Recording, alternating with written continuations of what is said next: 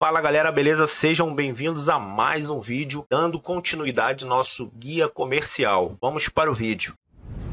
Fala meus amigos, vamos dar início aqui numa parte bem importante que é aqui o anúncio grátis, certo? Anuncie grátis, nós vamos fazer o nosso formulário hoje, neste vídeo. Primeiramente, eu vou clicar aqui no componente, vou vir na ação dele e vou escolher, escolher aqui Show Form.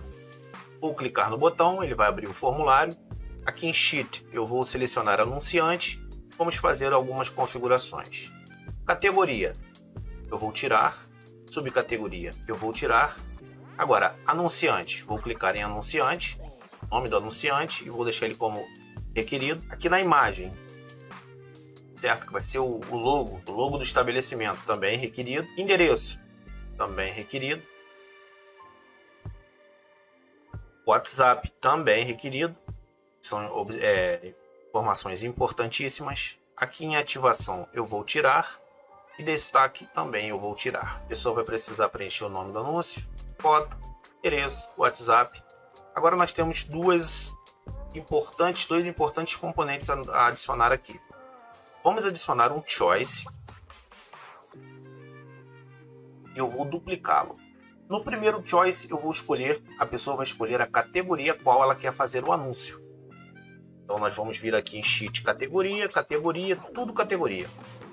Vai levar, vai levar para a coluna categoria e mas aqui vamos deixar ele assim lista mesmo e vamos para o de baixo. Aqui no de baixo nós vamos selecionar a subcategoria, subcategoria, subcategoria, vai levar para a coluna subcategorias. Vamos lá em option, preciso fazer um filtro aqui, por quê? E de acordo com a categoria que ele escolher, já vai setar aqui as categorias relacionadas, as subcategorias relacionadas à categoria, para não haver é, da pessoa escolher uma, uma categoria e uma subcategoria que não tem nada a ver, na hora do relation vai dar conflito e não vai funcionar. Vamos vir aqui em Filter, eu vou selecionar categoria, is, vou vir aqui em Value, Screen e categoria. Agora, se a pessoa selecionar aqui somente alimentos e bebidas, subcategorias vai setar aqui somente as, subcate as subcategorias relacionadas a alimentos e bebidas. Se ele selecionar aqui esporte e lazer, subcategorias somente de esporte e lazer. Tá ok? Vou vir aqui no Choice. Vou colocar aqui subcategorias. Vou deixar assim.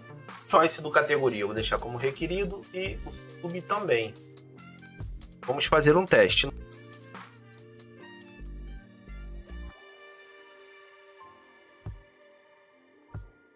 Categoria: se alimentos e bebidas. Subcategoria: eu vou colocar pizzaria. Aí, pizzaria.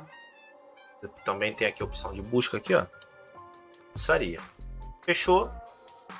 Mandei. Ele não vai aparecer aqui porque está aqui, ó. Pizzaria. Não vai aparecer aqui. Tá bom? Aqui é o só 4, ele deveria aparecer aqui. Por que, que ele não apareceu?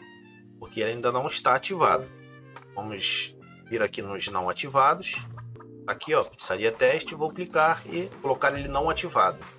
Isso aqui é a próxima aula que eu vou fazer um relação dos vou fazer uma relação dos comércios dos anunciantes em destaque, dos anunciantes pagos, etc. Mas isso aqui fica para a próxima aula. Então ele já está ativado aqui. Nós vamos, ele sumiu da lista, né? Vamos lá para a categoria e vamos ver na lista lá de alimentos se bebidas da pizzaria, já encontra-se aqui. Valeu pessoal, essa aula foi bem rápida, mas eu acho que foi de grande valia, foi muito interessante para o nosso guia comercial e para o aprendizado também da funcionalidade. Não deixe de compartilhar o vídeo, dar aquele like, se inscrever no canal, comentar se tiver algum comentário relevante e um grande abraço, fiquem com Deus e até o próximo vídeo.